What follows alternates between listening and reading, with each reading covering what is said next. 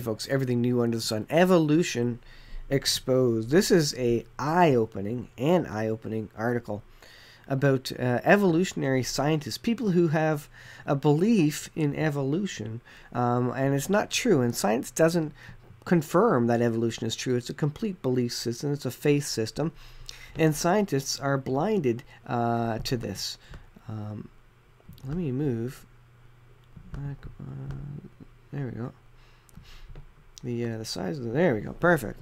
Uh, evolutionary scientists retract the groundbreaking results leaving a hole in the theory. So they they came up with something they thought proved evolution only to have to retract it later um, admitting that their belief system uh, blinded them to the truth of their research and their and their biases were there. Isn't that interesting? Let's take a look at this article. I think this is fascinating Everybody who believes in evolution needs to read this article. A Harvard biologist published a paper three weeks ago recanting a previous article and admitting that he, his preconceived beliefs led him to faulty conclusions, leaving him with a gaping hole in his findings that current evolutionary theory simply cannot explain. The 2016 paper published in Natural Nature Chemistry, uh, Jack uh, a Nobel Prize laureate and professor of genetics, um, made a discovery he labeled a, a, synthetic tour de force. He claimed that he had discovered a way for uh,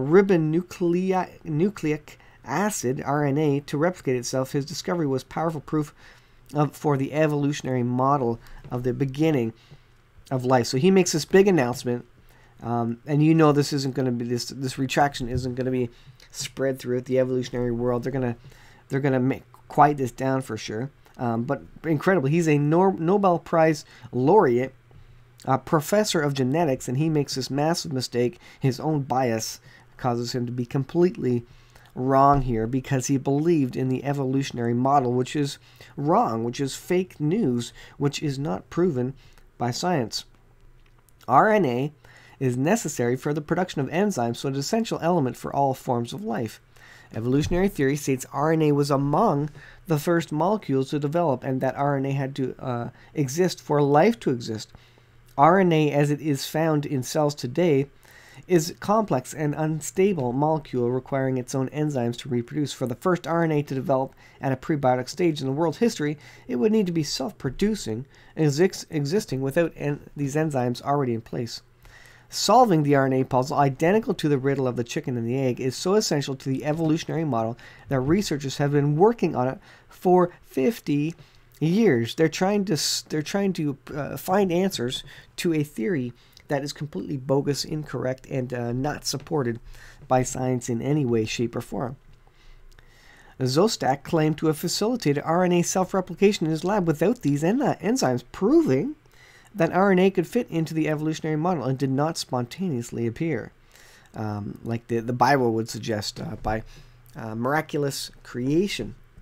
His experiment involved combining elements believed to have existed in the primal Earth environment. So, first, they're making assumptions about what elements existed there, which is unscientific, uh, because we, we don't know, we can't know. And so, any result coming out of this uh, could be inaccurate because we don't know uh, you know, if evolution is true, we wouldn't know what exists there in the first place. So it goes on. It involved uh, combining elements believed to have existed uh, in the primal Earth environment, including heat, heating water, and phosphates, and irradiating uh, the, the result.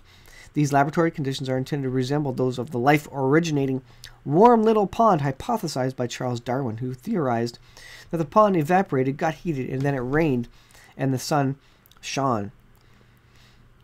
So ribonucleotides, I'm sure I'm saying that wrong, are simply an expression of the fundamental principle of organic chemistry, said organic chemist John Southern at the University of Manchester. They're doing it unwittingly. The instructions for them to do uh, it are inherent in the structure of the precursor materials. And if they can self-assemble so easily, perhaps they should shouldn't be viewed as complicated.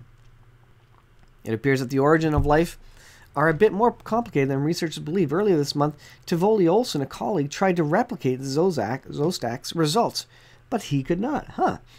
So remember, what is empirical science? It is has to be observable and repeatable. Observable and repeatable if it's to be recognized as actual science.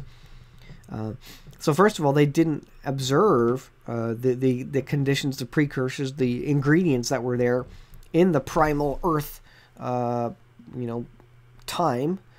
So he's making assumptions with that. So that's not science. That's uh, uh, not uh, observable, and certainly not repeatable. We can't repeat the it because we don't know what was there in the first place. If that is true, it goes on. Um, Zosek admitted his results were inconclusive. In retrospect, we were totally blinded by our belief in our findings. They were totally blinded by their evolutionary belief, by their faith, which is based on nothing but faith. There's no science to back up evolution.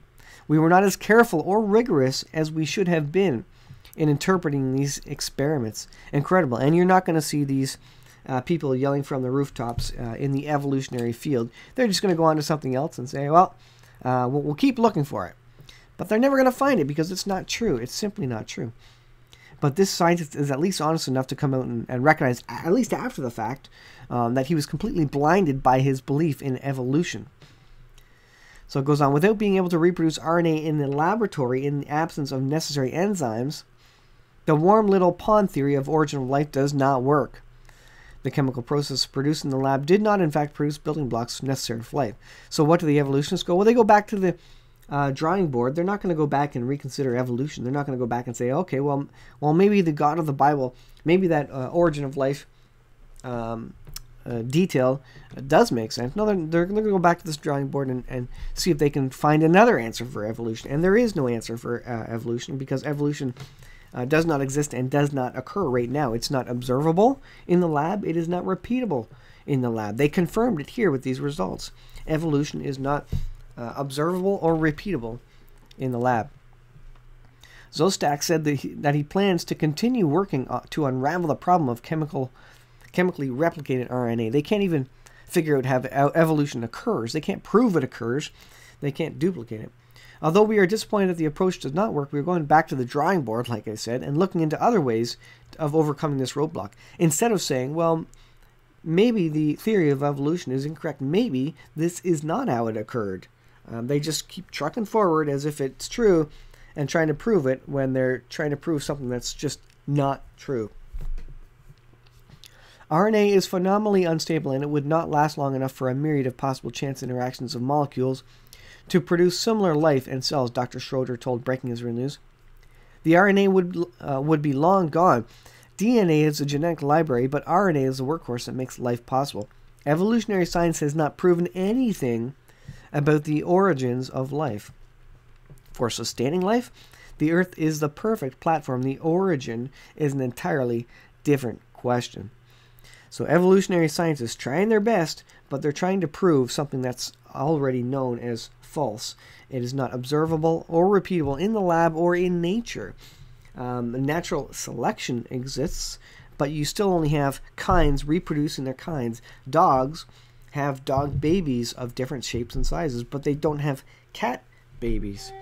Elephants have elephant babies, and alligators have alligator babies, but alligators don't have elephant babies, and so on. They don't even have transitional forms. There is not one single piece of evidence of a transitional uh, fossil or form out there.